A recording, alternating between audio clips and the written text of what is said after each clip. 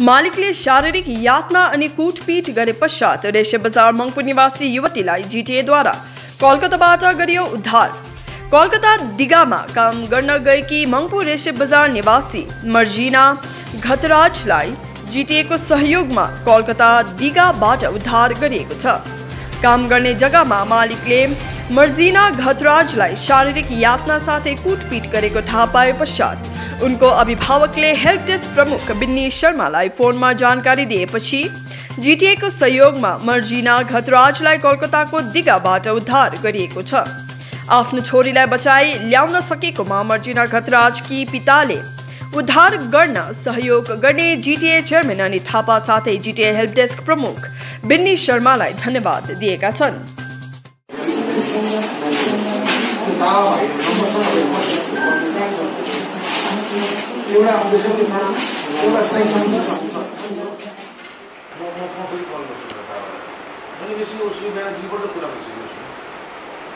आज मेरो छोरी बाहिर कलकत्तामा आजभन्दा तिन महिना अगाडि चार फेब्रुअरीको दिन काम गर्न भनी गएको थियो। त्यहाँ जाँदाखेरि यसरी नै यो कोरोना भाइरसको उसमा लकडाउनमा पर्न गयो। पर्न जाँदाखेरि यो यता आउनु सकेन।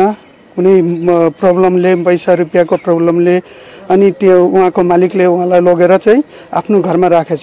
आफ्नो घरमा राख्दाखेरि चाहिँ उहाँलाई यसो कुटपिट गरेर उहाँलाई सताउँदाखेरि तँ घर जा घर जा भन्दाखेरि हामीले कहीँ सहायता पाएनौँ कहीँ सहायता नपाउँदाखेरि चाहिँ मेरो ज्वाइँ हुनुहुन्थ्यो। ज्वाइँले उहाँ सरको नम्बर दिए सरसित सम्पर्क गरेर विनी शर्मा सरसित सम्पर्क गरेर चाहिँ उहाँले आज रेस्क्यु गरेर झिकेर मेरो छोरीलाई सही सलामत हामी माझ ल्याइदिनु भयो। यसमा चाहिँ सबभन्दा ठुलो हाम्रो अरू केही हामी चिन्नु छैन केही जान्नु छैन तर उहाँ सरले जुन भूमिका निभाइदिनु भएको छ यसको लागि चाहिँ म आन्तरिक हृदयबाट मुरीमुरी उहाँलाई धन्यवाद दिन्छु अनि अजीवन उहाँको ऋणी बन्नेछु साथै डिजेसी अनित थापाज्यूलाई पनि। अनि जति पनि मानिस हामीलाई ठुल्ठुलो मानिसले सहायता गर्नुभयो उहाँहरू सबैलाई मेरो हृदयबाट अनेक एकदमै कोटी कोटी प्रणाम र धन्यवाद टक्राउँदछु तपाईँहरू यहाँनिर आज यहाँनिर पाडी भवन आउनु भएको छ है? हजुर। यहाँ पाडी भवनसम्म चाहिँ कसरी आइपुग्नु भयो उहाँ उहाँको मेरो दाजुको छोरा भतिज र मेरो अर्को भतिज हुनुहुन्थ्यो। उहाँले गएर गाडीमा गएर दुःख गरेर निन्द्रा बिन्द्रा सब त्यागेर यहाँसम्म ल्याइदिनु भयो अनि उहाँ विनी शर्मा सरको जिउले सरको तर्फबाटै यहाँसम्म आउन सक्यौँ। हामी पहाडी भवनमा आउन सक्यौँ। कति बजी आउनु भएको तपाईँहरू? कहिले आउनु भएको उहाँ देन तपाईँ भन्नुहोस्। उहाँ जानुभएको थियो। साढे कति? साढे तिनमा आउनुभएको रहेछ। हजुर। अब यहाँनिर बहिनीलाई कहाँ लानुहुन्छ? अब अहिले सरलाई सोल- सल्लाह गरेर कता अब घरमा हुन्छ कि कहाँनिर हुन्छ यसो अब त्यहीँ लानु पऱ्यो। हामी फेब्रुअरी चार तारिक यहाँबाट कलकत्ता काम गर्नुको लागि गएको थियो। काम गर्नु जाँदाखेरि छ तारिकदेखिको हामीले ड्युटी जोइन गर्यो त्यति बेला हामी हामीलाई सेफ्टीसँगले राखिदिनुहुन्थ्यो। त्यहाँदेखि बादमा हाम्रो साथीहरू थियो केटीहरू पनि थियो हामी काम गर्ने। तर उनीहरू झगडा गरेर गयो त्यहाँबाट। अन्त सरले मलाई सेफ्टीसँगले राखिदिन्छु। स्टाफको पनि प्रब्लम हुन्छ भनेर भन्नुभयो। त्यहाँदेखिको मार्चमा मार्च एक्काइस तारिक अचानक बन्द हुँदाखेरि सबै दोकानहरू बन्द भन्नु हुँदाखेरि चाहिँ मलाई घर आउने जग्गा भएन।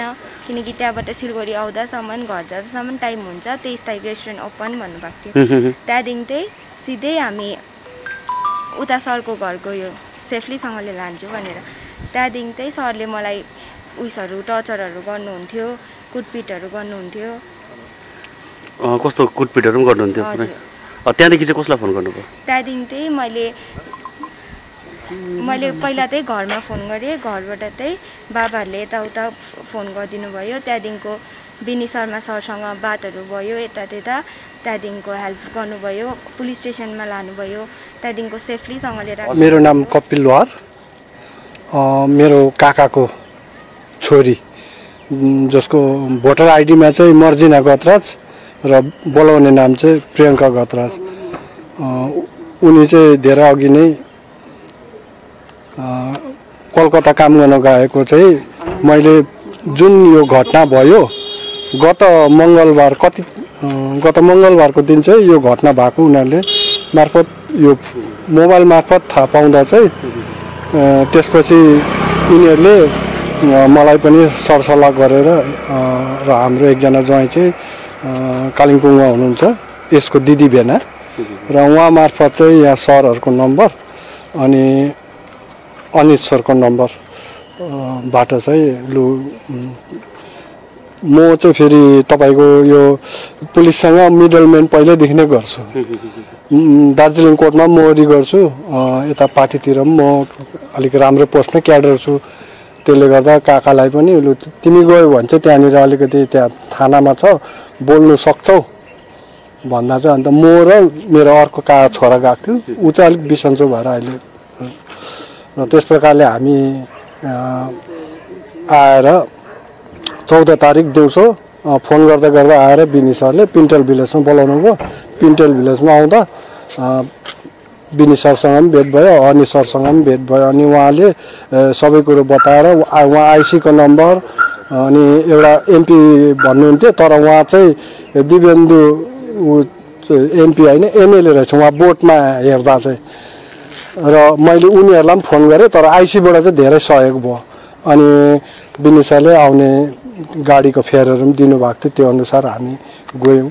र हिजो बिहान छ बजी चाहिँ हामी कोन्टाई पुलिस स्टेसन पुग्यौँ सोध्दै सोध्दै सोध्दै र त्यहाँ गएर मैले त्यहाँ स्टाफहरूलाई सोद्धा चाहिँ अब यो ओसीको अन्डरको छ र तपाईँहरू ओसी आएपछि मात्रै बात गरेर चाहिँ तपाईँहरूले लानु सक्नुहुन्छ। पछि ओसी त आउनु भएन। बिनी सरले दिनुभएको नम्बरमै मैले आइसीसँग कन्ट्याक्ट गर्दा चाहिँ म बिनी शर्मा मार्फत आएको। उहाँले मलाई यहाँ सबै तपाईँको नम्बरहरू दिएको थियो र भनेर मैले हिन्दीमा बात मारेर ठिक छ बस्दै गर्नुहोस् म आउँछु भन्नुभयो। त्यसपछि उहाँको स्टाफहरूले पनि धेरैजना आएर मलाई सोधे दार्जिलिङबाट आउने को भन्दा म भने अन्त फलना लिनु आउनु भएको नि त हजुर। त्यहाँपछि एक बजीदेखि चाहिँ का मतलब कागजपत्रको काम सुरु गरेँ झन्डै हामीलाई डेढ घन्टा चाहिँ मोटामोटी बहिनीको नाममा धेरैवटा त्यो लेख्नु लगायो। त्यो लेखिवरी पछि बाउको पनि मैले फल्ना फल्नालाई लिनु पठाएको छु र उनीहरूको साथमा चाहिँ मेरो छोरी पठाइदिनु भन्दा चाहिँ त्यो- त्यस प्रकारले हामी र करिब दिन अगाडि तपाईँको तेह्र तारिक मलाई यो जानकारी आयो कि हाम्रो एउटा छोरी चेली आरआरको मङ्पुको चाहिँ कन्टाई इस्ट मिदनपुरमा चाहिँ तिन महिना अगाडि फेब्रुअरीमा उहाँ काम गर्नु जानुभएको रहेछ। र यो लकडाउन पछि चाहिँ उहाँहरू त्यहाँ फस्नुभयो र उहाँहरूको अरू साथीहरू चाहिँ अब त्यहाँबाट अलरेडी निक्लिसक्नु भएको रहेछ। उहाँहरूको आफ्नो व्यवस्था थियो परिवार उहाँहरू अर्को अरू अरू उनीहरू परिवारहरूसँग थियो उहाँहरू जानुभयो। अनि नानी त्यहाँ बिचलीमा परेपछि चाहिँ घरको मालिकले लिएर राख्नु भएछ अब पहिले त राम्रै व्यवहार गरेर राख्नुभयो। अब छोरी मान्छे भनेर। अब पछि पछि चाहिँ अब उहाँलाई उहाँलाई दुर्व्यवहार गर्ने कुटपिट गर्ने गाली गर्ने अब भनौँ न त्यो बदुवा जस्तो बनाएर राख्नु खोजेको थियो त्यहाँनिर र फोनमा कुरा गर्न नदिने कसो कसो गर्दाखेरि एक दिन आफ्नो दिदीसँग कुरा गर्दाखेरि पनि अ, कुटपिट हुँदाखेरि चाहिँ दिदीले थाहा पाउनु भएछ त्यो चिच्चाको स्वर उहाँले सुन्नुभएछ। अनि त्यो जानकारी मलाई आएपछि मैले तुरन्त त्यो विषयमा इस्टमा हाम्रो मिदनापुरका एमपी सांसद श्री दिप्तेन्दु अधिकारीलाई मैले सम्पर्क गरेँ। अनि उहाँले त्यहाँबाट मैले एसपी इस्ट मिदनापुरलाई पनि सम्पर्क गरेँ इन्दिरानी मुखर्जी म्याडमलाई। अनि मैले मेरो आइसिसीसँग पनि कुरा भयो। कुन्टाई थानाको आइसीसँग अनि म्याडमले पनि एकजना अफिसर डिपुट गर्नुभएको रहेछ डिओआई वानले उहाँलाई मलाई फोन गर्नुभयो उहाँले। अनि आइसिसीसँग कुरा गरेर मैले विस्तृत मैले कुरा गरिसकेँ त्यो त्यो बिच चाहिँ अलरेडी एमपीले भनिसकेपछि पुलिस गएर नानीलाई रेस्क्यु गरेर ल्याइसकेको रहेछ। दुई पक्षलाई ल्याइसकेको रहेछ। उसलाई ल्याएर चाहिँ उसलाई चाहिँ सुरक्षित थानामा लेडिजहरूको जुन चाहिँ ब्यारेक छ उहाँलाई राख्ने प्रबन्ध मिलाइयो र अनि मैले एमपीलाई त्यहाँ रिक्वेस्ट गरेँ। किन उहाँको भाइ एमएलए हुनुहुन्छ त्यहाँ र म्युनिसिपालिटीको चेयरम्यान हुनुहुन्छ। चेयरम्यान हुनुहुन्छ र त्यहाँ राख्ने व्यवस्था पनि हामीले मिलायौँ।